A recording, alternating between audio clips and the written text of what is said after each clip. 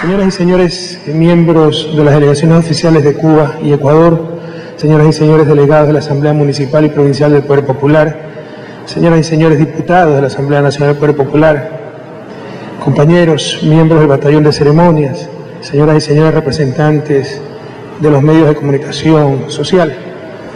Siempre me es muy grato estar en Cuba, esta vez en Santiago, la ciudad heroica, tierra de Antonio Maceo y otros héroes y mártires cubanos tierra de grandes artistas, deportistas, figuras destacadas de un pueblo que es ejemplo de dignidad y constancia, y cuna de la revolución.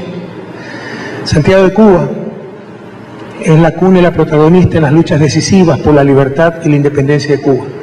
Siempre salieron de Santiago las gestas rebeldes para liberar a la nación cubana y sacudieron a nuestra América con su ejemplo.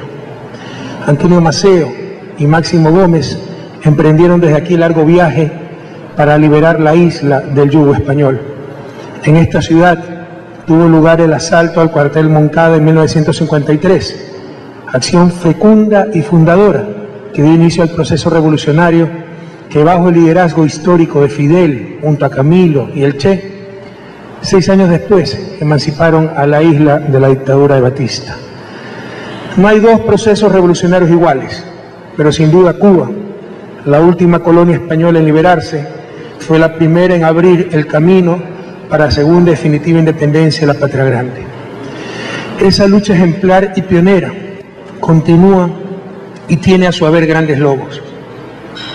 No en vano Cuba exhibe los mejores indicadores sociales de la región y de los mejores en el mundo, en educación, salud, deporte, cultura, etc.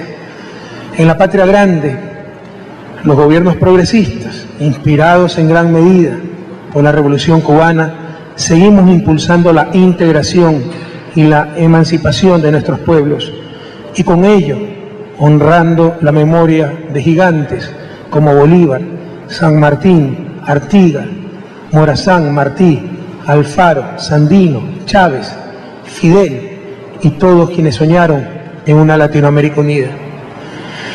Santiago de Cuba es además de cálida, artística y hospitalaria ciudad caribeña, la ciudad del son, de la trova, de la cultura afrocaribeña, de la identidad cubana.